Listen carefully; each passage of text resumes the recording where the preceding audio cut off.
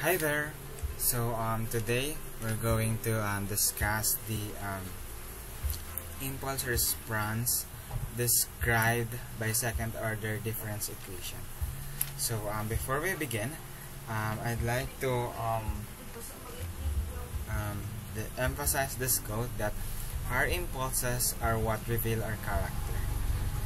So um, also I've drawn some you know picture bamboos and then you know strong rigidity. So sometimes um, a strong um, sudden wind or an impulse of wind. So as you can see, this bamboo will just um, um, bend. However, um, if the wind is too strong, this tree might break. Okay. Hmm? This might break. Okay. So now, you might be um, wondering what is um, the purpose of this um, impulse response. Okay. So um, in signal processing, the impulse response or impulse response function of a dynamic system is its output when presented with a brief input signal called an impulse. More generally, an impulse, res impulse response is the reaction of any dynamic system in response to some external change. So as you can see, um, um, due to this impulse response, we were able to know the behavior of the systems. So, in this video, we will learn um, what's what's the things to know before um, solving an impulse response and then um, solving the impulse response. Okay, so let's go with the basics. Okay, so here is the basics. So this is an impulse and then this is denoted by this and also as you can see um, in, in impulse um, this is um, what happens at negative 2 it's 0 and at 1 negative 1 it's 0 and then when at n is equal to 0 it has a value and then it drops back to 0 okay. Also the system is initially relaxed meaning y of negative 1 is equal to 0 and y of negative 2 is equal to 0 and so on okay. Now we're ready to um, solve an um, impulse response problem. Okay. So determine the impulse response of h of n. h of n for the system described by the second order difference um, equation. Okay so the first step so um, going to start with um, our first step. So the first step is um, because um, impulse response is just um, the total response because um, therefore you need the homogeneous and um, particular solution. So um, I've made a video with a previous video with regards to um, homogeneous and then um, particular solution. So you might wanted to check it out before um, you know watching this video. Because um, it's critical that you know how to get the homogeneous solution before I'm diving into this concept. Okay, so first is get the um, components. So homogeneous, homogeneous, and then uh, particular um, solution. Okay, so um, we've already solved this one. Um, I've already made a video of this. So um, I'm just going to um, look for it. Okay. Hmm.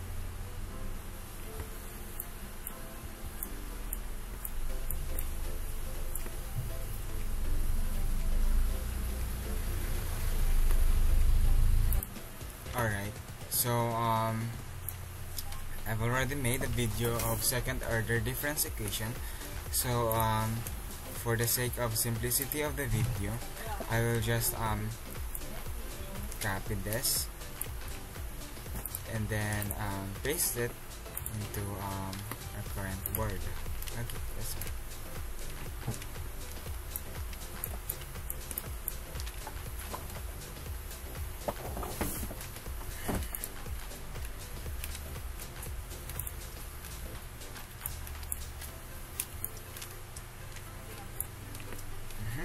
so um, that's our um, homogeneous uh, particular solution. Okay. Hmm. okay. Now um, we're going to solve um, the particular solution. So uh, basically um, the input of this or the excitation is just x of n okay is equals to um, Dirac delta of n. Okay? And when the excitation is the Dirac delta um, price of p or the particular solution is zero. Okay. So um, um, I've made a video of um, particular solution. If you try to um, um, follow along with that and then just change the given with um, impulse you will um, get the result of 0 okay? So um, that's why um, in order to get the impulse response or the total response we're just concerned of this um, homogeneous uh, particular solution. That's also one of the good thing of this um, you know impulse response for um, simplicity purposes. Okay. Now we're going to um, do the step 2 which is um, if you've um, watching along you will notice that um, it's kinda um, has a pattern in which you have to um, find um, or prepare equations. Okay so we're going to prepare equations. Okay in order to find the value of C1 and C2 okay so usually when um, presented by second order difference equation you have to um, prepare um, for equation. Okay so we're going to use the um, um, given this one. Okay. This one.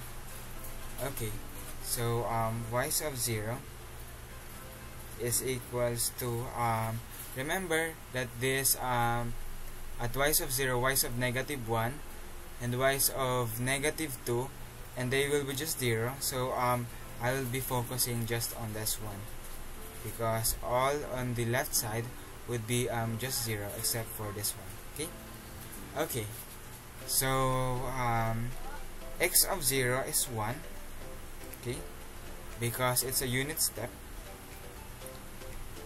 And then um, 2x and minus 1 would be mm, 0 so that's why we have this. Okay. Okay so um just to clear up um so um our x of n is um a Dirac delta. So it's not a unit step. So I've made some mistakes.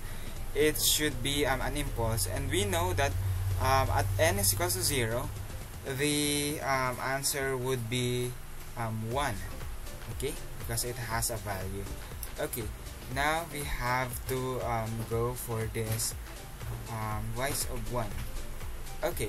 So at y's of 1 um, it would be um, positive 3 y's of 0 so it has now a value but negative 4 y's of negative 1 because 1 minus 2 is negative 1 um, it's just 0 as what, is, as what we've established in the basic um, section. Okay and also at x um, x of 1 it is 0 but in x of that is in x of 1 minus 1 0 so multiplied by 1 so that's 1 okay. And then we have a value of y of 0 that's 1 so it would be um, 5 okay. So now that's it. That's our um, first equation. Mm -hmm. and then second equation. Okay now let's go and prepare our third and fourth um, equation. Okay. Hmm? so um, the um, third equation okay would be um, coming from this one okay? So at y of 0 c1 plus c2 okay. So I just change it to um, 0 the end. Okay. And at y of 1 c1 would be negative c1 hmm, plus um, 4 um, c2 okay so now we have equation 4 okay so what we do here is we're just um, going to um, find the value of c1 and then um, c2 okay so um, step 3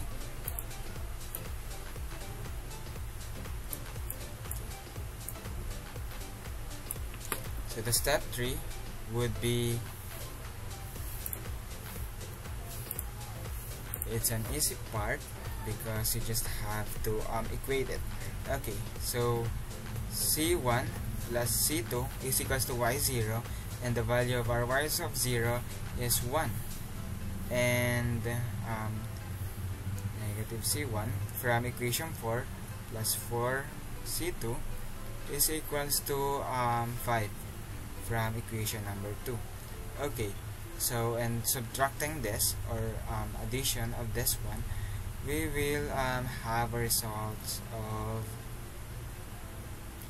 c1 minus c1 is 0 1c1 plus 4c2 would be 5c2 is equals to 6 okay therefore our c2 is equals to 6 over 5 okay now I leave the rest to on how to find the value of C1 into um, your end.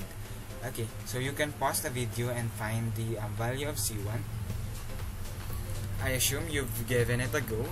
So, um, the value of C1 would be negative 1 over 5. So now, um, we're nearly done. And right now we deserve a drum roll. Okay. Because um, we're nearly um, finished into um, our problem. Okay. So um, the next step or the fourth step would be um, plug in okay. So it would be easy because you just have to um, plug in the value of C1 and C2 where here in our homogeneous um, solution. That's why. Therefore our uh, y is homogeneous now would be um, C1 is negative 1 fifth negative 1 n plus C2 or the value of C2 is 6 over 5 okay. 6 over 5 and then um, force of n. Okay. Mm -hmm.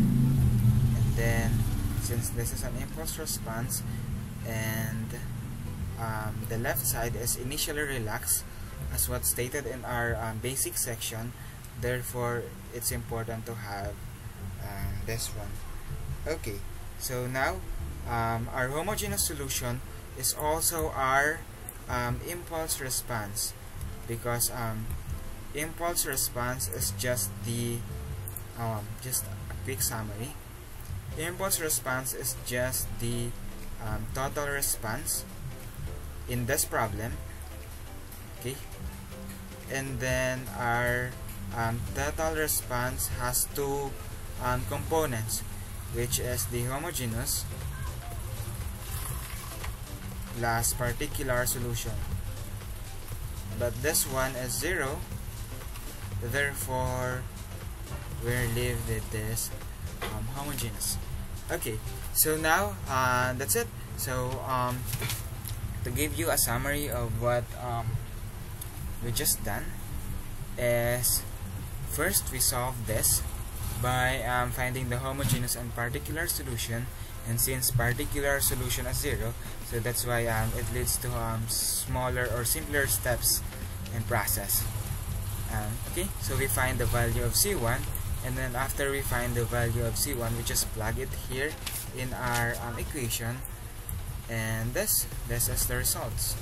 Okay so now you've learned um, things on how to um, you know solve the impulse response of system described by second order um, difference equation. Okay? So um, that's it. I'm Jerome and have fun learning digital signal um, processing. Okay? So if you've learned um, hit the thumbs up and then um, subscribe. Okay. Okay. So that's it. Bye bye